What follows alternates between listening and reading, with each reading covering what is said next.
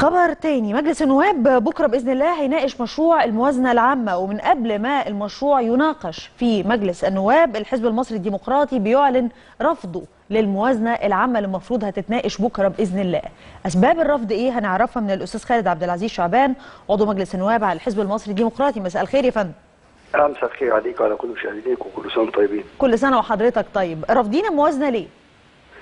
يعني في أسباب كتير جدا دفعتنا لرفض الموازنة اللي موجودة إن هي لم تحقق العداله الاجتماعية اللي كانت موجودة في الموازنة مع بيان حكومة. يعني لو جبت بيان حكومة طبقتيه بالموازنة للأسف هتلاقيهم مختلفين خالص. هيؤدي خالص في الآخر خالص ليه ما فيش حاجة اسمها عدالة اجتماعية في مصر؟ عشان كده هو لو جينا لو جينا في بعض بنود الموازنة نحللها نلاقي مثلا المفترض الاستحقاق الدستوري اللي هو رفع الصحة والتعليم والبحث العلمي هتلاقي هذا الاستحقاق غير موجود بالمرة. بالعكس الحكومة تحايلت على هذا الموضوع ولدرجة إن هي مثلا حطت في الموازنة في التعليم مثلا عشان ترفع النسب لما حصل ان المجلس يعني لجنة الخطة الموازنة بعد قالت أو لجنة الصحة أو التعليم رفضت الموازنة آه تحايلت على هذا الموضوع. ومثلا تيجي في الجزئيتين تحطهم مثلا زي مثلا إيه نقول المستشفيات التعليمية حطيتها في الصحة الصرف عليها وحطيتها في التعليم. مم. يعني هي هي تاخديها من هنا تحطيها هنا أهو تحطيها من هنا تحطيها هنا. لدرجة إن هم حتى في الصحة في الصحة حطوا الصرف الصحي ما علاقة الصرف الصحي بالصحة أصلا. تمام؟ فإذا نعم. ده تحايل على الصحة حتى يرفع النسب حتى أعمل الاستحقاق الدستوري وده شيء مرفوض إحنا كلنا نتمنى إن يتم هذا الاستحقاق الدستوري لأن طبعا أنتوا لسه بتناقشوا الموضوع ده دلوقتي اللي موجود في السوق فبالتالي الناس في آه بس في رد تاني يا أستاذ خالد يعني الرد التاني بيبقى إن هي ميزانيه كده هو ده اللي عندنا. أيوه بالظبط آه يعني هي هي دي القصة اللي برضه أجيب منين؟ طيب أنا برضه هقول لك برضه هنجيب منين؟ يعني برضه بس هكمل برضه جزء جزئية ثانية يعني مثلا نيجي لجزئية الإسكان مثلا. يعني رفع ممكن نعلي الصوت شوية؟ آه رفعوا نسبة الإسكان من آه. آه من, من 28 مليار ل 50 مليار. وتلاقي بند الإسكان الاجتماعي كان 2 مليار السنة اللي فاتت. تمام؟ والسيد الرئيس طبعا بحى صوته عشان يعمل إسكان اجتماعي. السنة تلاقيها في الموازنة حطوا مليار ونص فقط.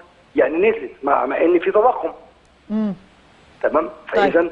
أنت بتتكلمي برضه في جزء إن العداله الاجتماعيه تهدر جزء تاني زي مثلا مياه الشرب والكهرباء وغيرها.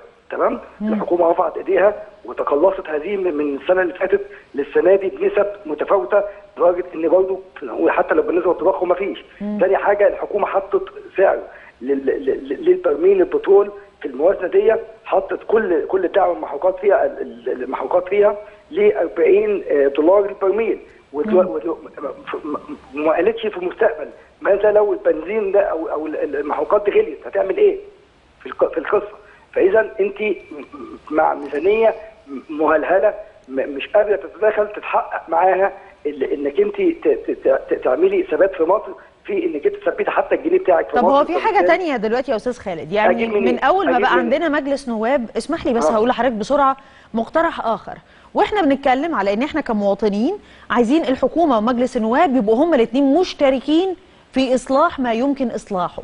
هل الموضوع هيبقى متعلق بس بانكم رافضين ولا كمان بتتقدموا بمقترحات لتعديل الموازنة عشان تبقى متوافقة مع الدستور والاحتياجات؟ طب جميل قوي إحنا أنا بالنسبة لي كلمة ثلاث دقائق بكرة أو بعد بكرة حسب ما هاخدها. الثلاث دقائق دول مش هعرف يعني هشرح الرفض ولا هشرح ال ال ال ال إن أنا إيه إيه مقترحاتي. ولكن أنا عندي بعض المقترحات هقدمها مكتوبة في الموازنة دي تحقق هذا ممكن تحقق إيرادات في مصر. وده موجود بالفعل في مصر.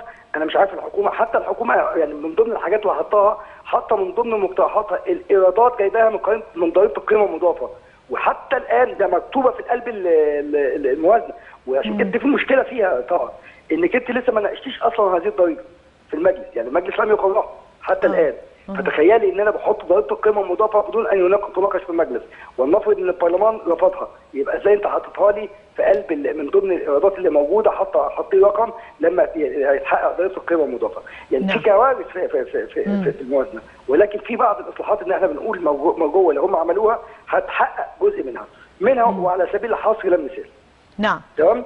في حاجة اسمها التسجيل العقاري. التسجيل العقاري دوت بح صوتنا من أول ما دخلنا المجلس مع الحكومة حتى الآن. لو تم تسجيل العقار في مصر أنا عايز أقول لك هيوفر مش مليار. في كلام فيها إن هي بتوفر 3 تريليون. تسجيل العقار. أدي جزء بند بس صغير ب- في الموضوع. زائد إن الضرايب. الضرايب بت- بتستحق طب أكتر. أستاذ خالد معلش أنا آسفة في إني هقاطع حضرتك بس عشان هو الوقت. بشكل عام كده آه، الحزب المصري الديمقراطي يعتبر هو الوحيد اللي رافض للموازنة ولا في نسبة كبيرة رافضة للموازنة؟ يعني باختصار هيتم تمرير الموازنة ولا لا؟ أنا يعني أنا- أنا- يعني الحزب المصري الديمقراطي آه، رافض هذه الموازنة.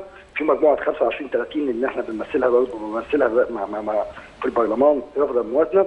في بعض الأشخاص الأخرى المستقلين وبعض الأحزاب سمعت انها هترفض الموازنه اللي فيها يعني توقعاتك برضه هتتمرر ولا لا؟ هتمر يعني ما, أقدرش أقول هتمر ولا ما تمرش لأن كل واحد قدام قدام الزراير دي هو وضميره أو هو وقناعاته السياسية داخل البرلمان يمررها أو ما يمررهاش نعم. عموما بكرة بإذن الله هنشوف إيه اللي هيحصل.